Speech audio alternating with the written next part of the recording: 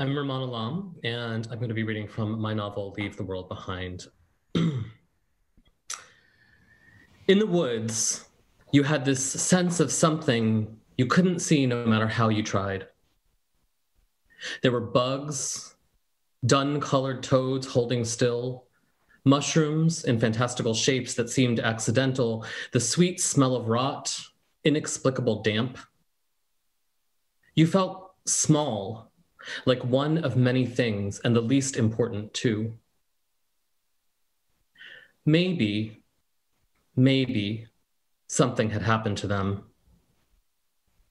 Maybe something was happening to them. For centuries, there was no language to describe the fact that tumors blossomed inside lungs, beautiful volunteers like flowering plants that take root in unlikely places. Not knowing what to call it did not change it. Death by drowning as your chest filled with sacks of liquid. Rose felt eyes on her, but then she pretended often that she was being watched. She saw herself at the remove of a cell phone camera. She was young and didn't understand.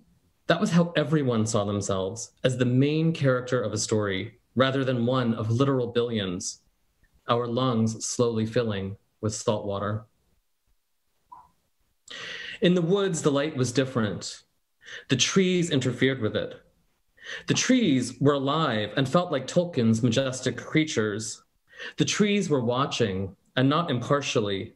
The trees knew what was up. The trees talked amongst themselves. They were sensitive to the seismic reverberations of bombs far distant. Trees miles away, where the ocean had begun to breach the land, were dying, though it would take years for them to be reduced to albino logs. The trees had all the time the rest of us do not. The mangroves could outsmart it, pull up their roots like a Victorian lady's skirts, sip the salt from the ground.